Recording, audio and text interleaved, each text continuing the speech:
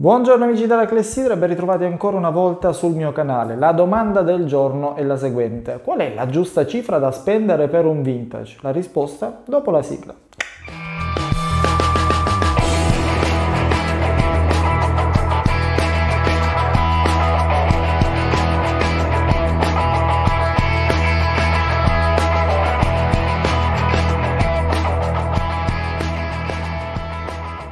Bene amici, bentornati. Dunque, oggi cercheremo un po' di dare una giusta risposta, o proverò a dare quella che è la mia considerazione in merito alla domanda quanto è giusto spendere per un vintage.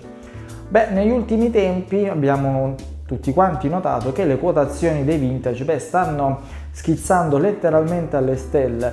Questo perché eh, c'è più richiesta, ci sono orologi rari, eccetera, eccetera. Ma la domanda che spesso eh, molti di, mo- di, voi si pongono, eh, ma è giusto spendere così tanto per un vintage? Beh, eh, c'è da dire una cosa, che quando si parla di vintage ci sono sempre diverse considerazioni da fare. La prima cosa che dovete completamente dimenticare quando acquistate un vintage è il discorso qualità-prezzo. Questo perché? Perché gli orologi di un tempo, è chiaro, non possono avere quelle che sono le caratteristiche tecniche dei, degli orologi moderni, dei segnatempo moderni Poniamo il caso di qualche diver, beh è chiaro che 50 anni fa non esistevano i diver 1000 metri e adesso ci sono, quindi bisogna anche capire che se andiamo a comprare un vintage lo facciamo per quello che era allora, perché magari allora era, sparo così, un, un, esempio pratico, era il primo diver al mondo e quindi stiamo andando a comprare quello che è la storia dell'orologio, perché magari ha compiuto qualche impresa fantastica, come ad esempio eh, il Moonwatch, sappiamo tutti l'orologio che è andato sulla Luna, beh se andiamo a comprare un vintage, il Moonwatch, compriamo non solo quelle che sono le caratteristiche tecniche di quell'orologio, che sicuramente sono di alto livello, ma andiamo a comprare la storia che c'è dietro, ma anche in questo caso bisogna stare attenti, perché quando si parla ad esempio di, di Reduced,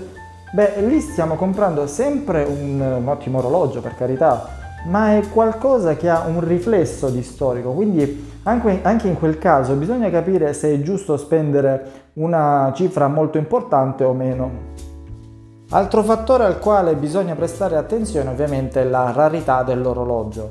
Magari pur essendo un orologio che non appartiene a qualche grande casa costruttrice tipo Rolex, Omega eccetera eccetera, chi più ne ha più ne metta, è un modello che è stato eh, costruito in pochi esemplari, quindi fa gola, è raro e di conseguenza quelle che sono eh, le sue quotazioni schizzano alle stelle. Un altro fattore da tenere in considerazione ovviamente è il design dell'orologio, le caratteristiche estetiche. Io oggi indosso un, eccolo qui, uno Zodiac Astrographic, un orologio molto particolare perché ha le lancette che sono praticamente costruite con tre dischi trasparenti ehm, sul quadrante sembra che le lancette e le ore stiano levitando. Oltre a questo vi posso citare anche il bellissimo Amida Digitrend, è un vintage che abbiamo visto anche in una recensione, ha un design molto esclusivo, anche se ha un meccanismo un pochino diciamo particolare, va? mettiamola così, non è, non è uno dei migliori, però uh, ha una forbice di mercato che va dalle 800 euro sino anche alle 1200, perlomeno sono queste le quotazioni che ho riscontrato io su, su eBay.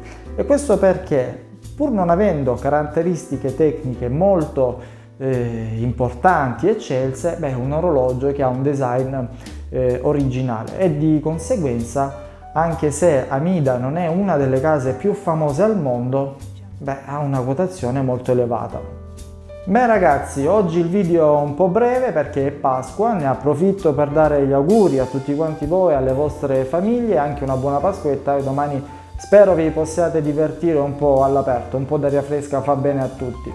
Dalla clessidra di Ema è tutto, mi raccomando iscrivetevi al gruppo Telegram, al canale se non siete iscritti, un bel like che è importantissimo, e ci vediamo appena possibile con la clessidra di Ema. Un abbraccio a tutti quanti e ciao!